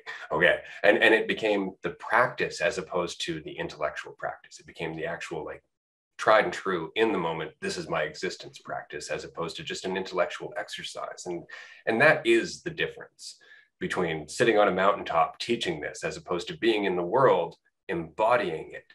Because as you go out in the world and you test yourself and you do all that and you oscillate back and forth and you find your center over and over and over again, what's so important to recognize is that the world is helping you do that because it's you. So as you're refining your process, you're automatically going to encounter all the other things that are going to allow you to continue to do that. But what's interesting is that everybody who's a part of that, everybody who's a part of that, is also in that process. Your refinement is refining the whole, right? But it can't so long as you're trying to refine the whole. It can't so long as you're trying to get anywhere. It can't so long as there's a division or a path or anything else. You have to be free. And then freedom spreads itself in your heart, in your soul, in your relationships, in the world around you, because freedom is its own reward, right? So if there is any practice meditation, it's just continue to recognize that you're already free. There's nowhere to go. So more Dzogchen than Vipassana. Largely, yeah. Because I mean, I can't, I can't lie. I go down the rabbit hole with this stuff, right? So I got like you know Daniel Ingram. He does like the hardcore uh, Buddhism book where he talks about the four stages, like stream enterer, once return, and no return, and arhat, that type of stuff. Um, that just seems very grueling to me. I do agree that just like using your day to day and just constantly opening, right, constantly surrendering is an easier practice that to actually sustain throughout the day as opposed to trying to go through the jhanas or like do very deep concentration work. Um, so yeah, I mean, I'm just I'm just so open to all this stuff. I oscillate. Part of me wonders if uh, me just reading what I like and then um, like jumping from one thing to another uh, hampers my ability to go deeper because I'm not like focusing on one practice. But I mean, it's worked well for me up to this point, no. so I don't know. Yeah. Beware, beware the urge to to structure, right? Like that. That's the one thing I would say is that it's so tempting to want to make a structure of this. It's this many stages to enlightenment, right? But I just that, want to know how many steps I have to right? go to get enlightened. that path always ends up coming up to a wall there's always a point yeah. where, where you just you will stagnate and you'll be stuck on reason and intellect and, and it's because you're already whole right yeah. you're already whole and so it's getting out of your way it's and, and i can't express how much of it is that like there's been so many times over the last 20 years of my life where i've been in, i've been frustrated i've been in conflict with work or with somebody in my life and trying to find a resolution to that led to more conflict and frustration and all that. And then finally I go, oh, I'm thinking about myself. And it would just, it would just go away. And all of a sudden a solution would present itself. My intelligence would start to flow again and, and, and things would start to change. But it was always that stagnation at I need to figure out a process. I need to be in control. Right. And and Andrew and I talked about this, I believe, in season one, but I had an insight early on that there is a very big difference between thought and insight. Thought is always effort, it's always the result of control. Insight is the result of surrender, the result of relaxation. So if you want an insight, relax and it'll come to you. But when you're under pressure, it's very difficult to practice that. Like I had to learn Kung Fu, a style of Kung Fu that actually required me to relax while somebody was throwing chain punches in my face in order to start practicing that on a physical level right? Because it's one thing to say, yeah, I'm relaxed, and inside you're just churning away with all the processes, right? Finally, when you realize like all I can do is be what I am right now. I was having this conversation with somebody last week about um, anxiety, like prepping yourself for a conversation that you're going to have in five minutes, right? Thinking that somehow that five minutes of prep is going to make you a vastly different person than the entire lifetime that led you up to the conversation itself. You are already the person you're going to be having that conversation second guessing it going into it is only adding distortion to how you would otherwise act. Right? It's an interesting catch 22. It's almost like you're getting yourself in the way. And that's what I think of with a lot of the practices. And it's almost like just the simple recognition that there's nothing to get, there's nowhere to go, there's no no right or wrong way to do any of this, there's no right or wrong thing to say, there's no correct answers is like the base layer of it if you want if we want to try and conceptualize it and then any practice any learned method is like a layer one th- thing or like a layer two but the layer two can never be the base layer it's never going to be it so any practice any teacher any book any video any thing that you learn it's never going to be that thing. So so the second layer isn't a requirement to get there. It can allow you to find a little bit more freedom, find a little bit more pre- peace, but it's not going to it's not it.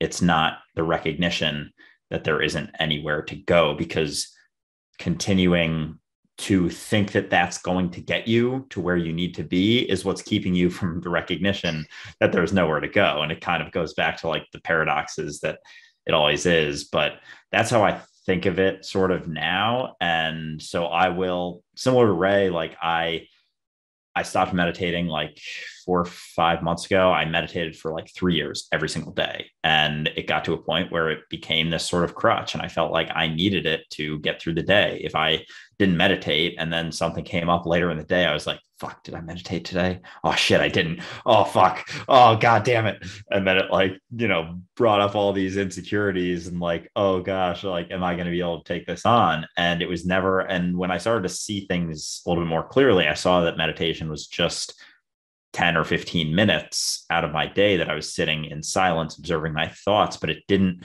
have the lasting impact necessarily. I think it can allow you to recognize that you know there is that separation. You can observe your thoughts but it's not like doing that in the morning is going to impact your reaction you know sitting in traffic and not getting worked up later in the day. Like you don't need those 10 minutes in order to do that and your lack of reaction or acceptance for your situations later on in the day that's like that's the meditation. Like life is the meditation your moment to moment experience of surrender as we've talked about a few times. That that is that is it. But there isn't a practice that guarantees that besides the doing of it in the moment almost like that yeah. that is the path. That is the experience that will free you is just like recognizing that nothing's going to free you outside of yourself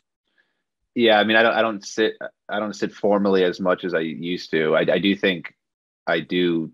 I, I, mean, every morning I go for a walk and I'll sit at a rock looking over the lake because I find it beautiful. And to be honest, yeah. it's like throughout the day I find myself meditating randomly. Like when I'm walking outside or when I'm, I can just stay, like I can just stare at the sky. I'll just stare at the sky for like five minutes randomly when I'm looking at it. Um, so it's kind of just like ingrained. But I do think it's it is necessary for people initially just to be aware, right, of their thoughts because most people aren't even aware of that inner monologue, right? They don't realize that their resistance to the inner monologue is what creates these negative emotions within themselves. Um, so I do always think that like that. I've never done any like serious meditation retreats though, um, and I do wonder what that would be like if I if I was to do something of of that nature. Not that it's necessary, but it just as like a cool experience type of thing.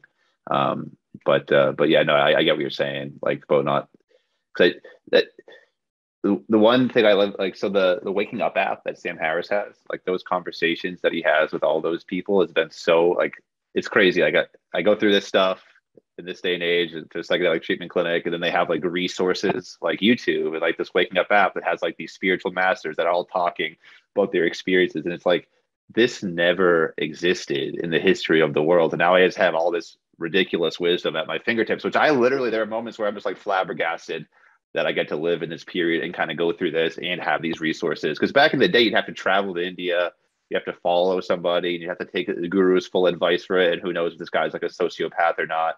But nowadays, there's just so much available. Like there's so much stuff on YouTube and the apps, and just gives you a good understanding um, of every side of it, right? So you can kind of see where you fit in. Um, it's just like I mean, I know this is this is a constant thing that everyone says in the spiritual world is like when somebody has an awakening, they think the world's going to be awakened, right? Like in the 70s, they're like, "Oh, the world's going to be awakened by 2000."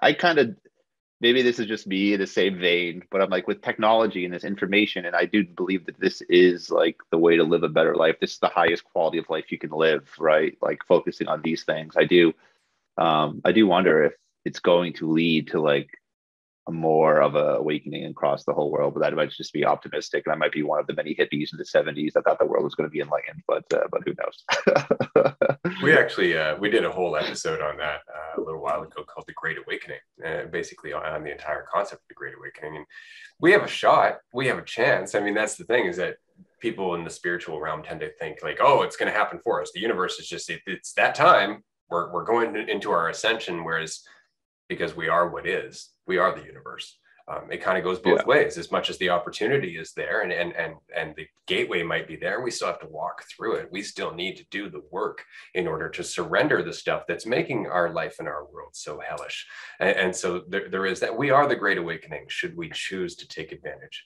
of it. Um, but I wanted to go back quickly just to what we were talking about because you had mentioned Zen, and this is very much going back to what Andrew was saying about you know the path to no path, basically.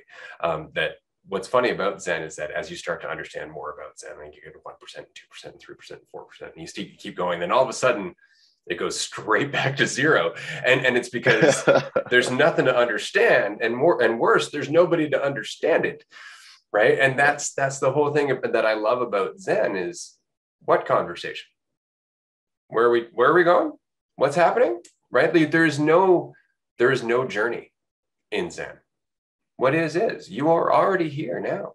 There's nowhere else to go. The entire creation of a journey is your problem, right? The entire idea that there is somewhere to go is the source of your conflict. And, and that's why Zen is very hard for people to, to really take in. Krishnamurti was very much hard for people to, to take in too towards the end of his life because he became so razor's edge. It's either what is or it's not. Right. And everybody's like, well, is it going to be like this when I'm enlightened? Ah, let's just talk about this. Let's not like, project enlightenment. Let's just talk about what's happening now. Right. And everybody just wanted him to go further to, you know, tell me what the answers are. It's like, stop looking for them that's what's stopping you from seeing them. That's what's stopping you from learning is that you're settling on conclusions that make you feel like you know instead of asking why you feel you need to know. Right. And then that's that thing is that that conversation can get so very razor's edge. And that's when you really start to see who's just trying to feel better as opposed to who is being free because the people who are free have no fear of that conversation Whereas people who are trying to feel better, they run from it pretty quick. I remember I gave a Krishnamurti book to a spiritual friend years ago, and she gave it back to us, I think, three days later. She's like, I can't stand him. He doesn't give me any answers at all. And she was pissed. And, and it was just like, that's the point, though. Like, why do you want those answers outside of just to be able to wrap everything up in a bow and continue to act the way that you've been acting? Right. Yeah, I mean, Krishnamurti is fascinating his life story and everything is like mind blowing when you actually learn about it and how he was like trying to be guru to be this world guru and then he comes out and says I'm no one's guru. Like it's like the most crazy story ever. I love that stuff.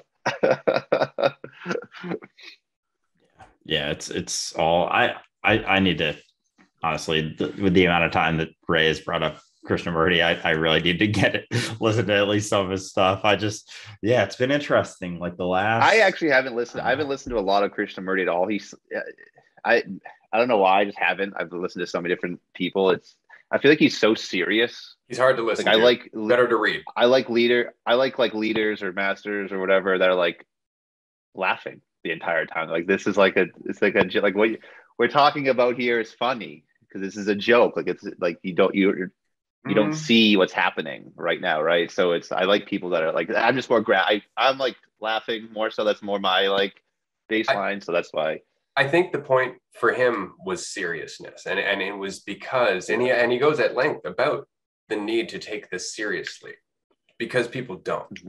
right and, and so yeah. and, and that combined with the fact that again like he was taken from india he was raised in a very traditional um, form of schooling right? He was he was taught to act and speak in a very certain way. And so that that very much yeah. you know carried with him for the rest of his life. But you'll you'll catch moments where he lets that down and he laughs and he has a good giggle about certain things and and and you'll see his humor in it. But yeah no the way he brings it across is very serious. And because he is so very calm and very collected when he's speaking if you're if you're used to absorbing information at a faster rate it's difficult right? So I would highly yeah. suggest reading Krishnamurti at, at, that point because the fact that when you're reading anything uh, by Krishnamurti, you'll realize they're all transcripts, which is amazing.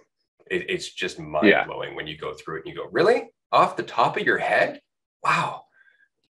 And the crazy thing is, like when they do when they do speak like that, it's not like thoughts, right? Like when you have like when I like was like in that mode, even to this day, I do technically have like these downloads, what do you want to call it, revelations, and it's like it's not like I'm thinking these things. It's just is it, right? So it's like it's almost like a way out on everything. Cause it's like I don't need to worry or like overthink something because it's like what come like there are times I talk about certain things like spiritual. I'm like I'm very new to it, right? So I don't know that much. I'll just I'll like surprise myself with the things that I say that I didn't even know was in there, and just kind of comes out. And I feel like that's a lot of like uh, the spiritual masters or leaders. Is like they're just talking, and like they they don't even know what they said a set they don't even know what they said a sentence ago. They don't know what they said yesterday. They're just talking in the moment and it just comes out like poetry and it's like this like amazing thing to behold. I just find it fascinating. Intelligence in motion right? Like that that's it. Yes. we get out of the yeah. way and suddenly the limitless intelligence of what is of the universe actually has the opportunity to act. And we embody it. It's just that we get in the way trying to be intelligent and we cut all of our potential down as a result. And so this is why like uh, expressions like my words or my father's very much resonate with exactly what you were saying. It's the more we get out of the way, it's almost like the easier it is to just be ourselves, which is terribly funny if if you really break it down, because it really tells you like the problem is my illusion of myself. My problem is my idea of myself. Until that gets in the way, I'm actually quite good at learning. I'm actually quite good at adapting. I'm good at resonating with people or empathizing or anything else. But as soon as there's something to protect, as soon as there's something that, that gives me value, I'm in conflict immediately. Yeah, it's it's that was like one of the most fascinating things for me was was getting my idea of myself out of the way in conversations in speaking. It's like it's the most freeing thing because I would always have this idea of myself as I was speaking. And it was like, that would cause me to stumble on my words. And it was like a constant self judgment and fear of perceptions of other people, like as words are coming out of my mouth. And I'm like thinking each word. Whereas now it's very much like, you know, we'll we'll get done with an episode and we'll be like, I don't know what the fuck we just talked about, but it was pretty good, I think. So yeah, it'll be fun to listen back to. And it happens like more and more. And I get it a lot on podcasts, especially because like when I'm a guest on a, a, different podcast, a lot of times I'm so used to like going deep on dualistic unity that it's like I like the lighter questions and and not like easier questions, but I don't know, like a little bit more surface level. And it's just like I don't know what I'm gonna say, but like stuff starts coming out and then all of a sudden I don't even remember like where it started. And I'm like, I just stopped talking. I'm like, uh, did that come close to what you were asking? And, it's like, I don't even care because it doesn't matter because the the point isn't the answer to be correct. And I used to get so hung up on that. Like, oh, am I gonna say yeah. the best thing? Like, what is what is even the best thing, Andrew? Like what the you know, you don't know how someone is going to perceive an answer. You don't know what's going to be helpful to certain people. And like does it even matter or is it more important to be the embodiment of that which you are talking about in the moment where it doesn't matter and you are just expressing that sort of universal intelligence here and now? And so the words become less important but as they become less important to you to this idea of you the clearer they get to the the rest of the universe experiencing itself. And it's like just another fucking paradox. And it's so crazy that it's like the more you get yourself out of the way the clearer you get. But it can't be through the perception of self for the self. It, it it's it has to be for for nothing and no one basically. Yeah otherwise you're immediately split in half. I love that paradox. The fact that the more interested I am in what I'm talking about, the more interested I am through everybody else that I'm talking to in what I'm talking about. But as soon as I'm split, as soon as I'm talking about it, doubting what I'm talking about, wondering how they're going to receive it or how what they're going to think about it, conversation just falls apart. There's no interest there from me. So of course there's no interest there from me on the other hand. Right? And I just love the symbolism there. It's like be present, be whole, and you will experience wholeness in action. That's the whole point. But it's it's unfolding it unfolds in front of you as you embody it right? Everybody wants to get to this this cognitive or this conceptual understanding of unity or enlightenment or freedom. Freedom isn't a concept right? Being is not an idea. There's no understanding to come to. There is just a state of being that you will become used to or that you will learn how to how to feel with more sensitivity that you will learn to embody without doubting, without fearing. But when you're in that state, you're you're immediately going to go like, "Oh shit, am I doing the right thing?" And then you'll fall out of it, and then you'll come back into it. But it's that process of, of just again oscillating back and forth, right? And it becomes self-refining. It's almost like reality, us, wants this to happen. right? And like I, I, I ran across an expression that life helps life. And, and I thought that was a really good expression because it's true. The more we free ourselves, it's almost like we encounter more opportunities to embody freedom where other people can learn from it or have the opportunity should they have the state of mind. I remember um, our social anxiety and worry workshop that Andrew and I did. I think it was the second day. Andrew was coming back on, on the airplane and he was getting into the taxi as we were starting the workshop. And of course, right there, a lot of people would have been like, oh my God, I'm late. I got to rush. I got to do all this. There could have been all this anxiety. And instead, we just kind of chatted back and forth and continued the, the workshop regardless on Zoom and all that. And we worked it into the lesson of, of the episode. Later on, somebody contacted me after after watching that, and they, they said that that was the most informative part of the workshop because it was actually seeing us in motion deal with a moment where we could have dealt with it in anxiety. We could have freaked out about it not going exactly the way that we wanted to, or how people might perceive it. Oh, God, is it unprofessional? He's in a cab. And we just rolled with it. We expressed what we were going through, we expressed the lessons that were open to us at the time. And we didn't even plan that. And it ended up being by far one of the best parts of that workshop.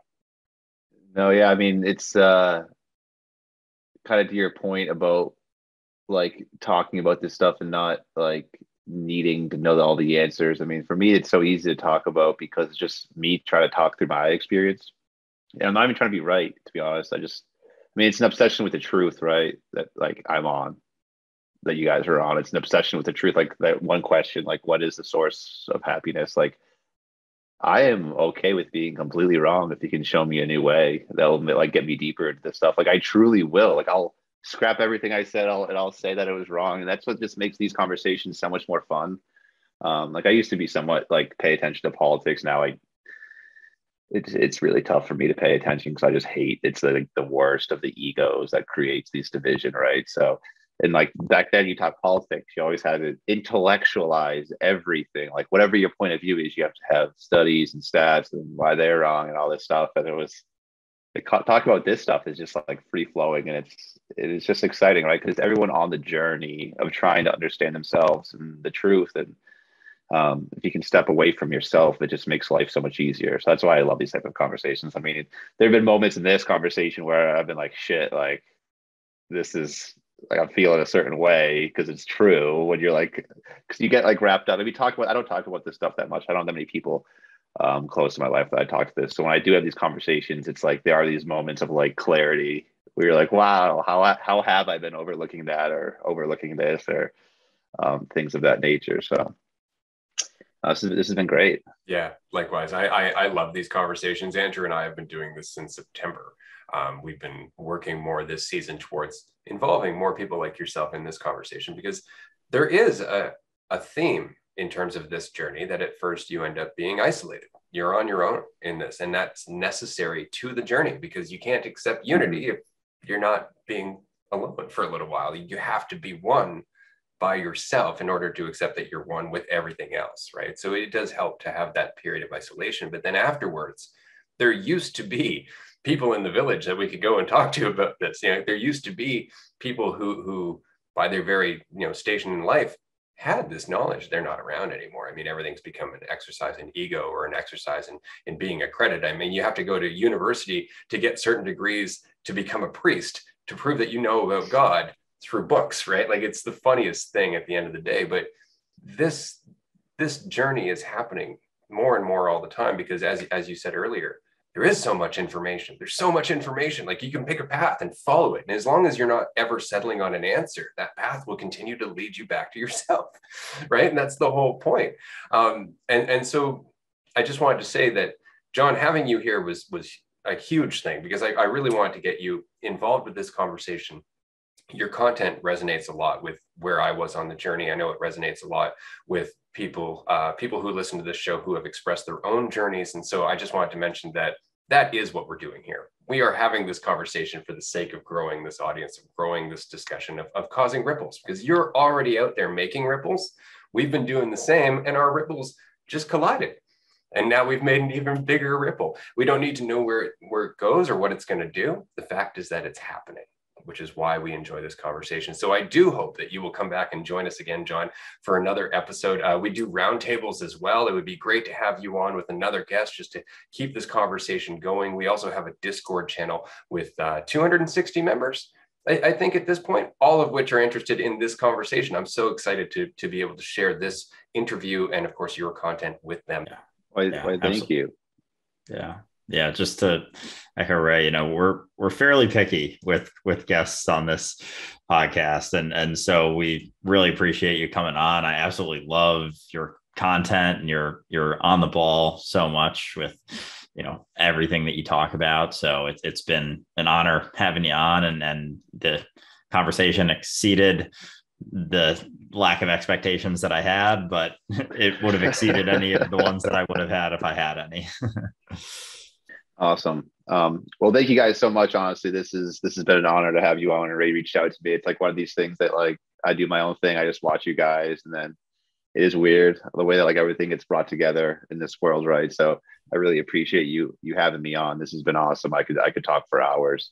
Um, but I guess uh, yeah, I'll, I'll join the Discord. and I'll I'll start like uh, poking around, see what that's about. I haven't really dived into that yet. Uh, but I guess to anyone still listening, if anyone does struggle with addiction and they do want to reach out to me, um, my Insta my Instagram is attached to my TikTok at Jon Copeland six. You can DM me and I'll share my experience and I will share with you the clinic that I went to. Um, so I want you to know that you're not alone. That a lot of people go through this, and that there is a way out. Um, so yeah, I just wanted to say that as a PSA at the end here. But uh, thank you guys so much for having me on, and I'd be honored to do this again. Um, this was this was a treat. Likewise for us as well. Absolutely. And Andrew is absolutely correct. We're, we're, uh, we're very choosy about who we invite onto the show. And it's simply because, again, there are a lot of people who know the words, not necessarily the insight. And, and it's something that you can talk about without ever getting. But once you do get it, it doesn't matter what you're talking about, it comes through. And so with your videos, especially, it just comes through. And, and so we're grateful to have you here. This has been episode 15, of course. Um, and everybody who's listening, we do have another Patreon group chat coming up this Wednesday. Uh, there is also a free public group chat coming up on the first Wednesday of May. So you can register for that at our website. And of course, you can contact Jon uh, at his TikTok account, Jon Copeland6. Jon, thank you again so much for being here. Uh, Andrew, anything to wrap up with? We covered about everything. I, I'm looking forward to the you know next Patreon chat we got on Wednesday. Always love those. And uh, thank you everyone for tuning in and listening. Hope you enjoyed the conversation as much as we enjoyed having it. We'll see you next week.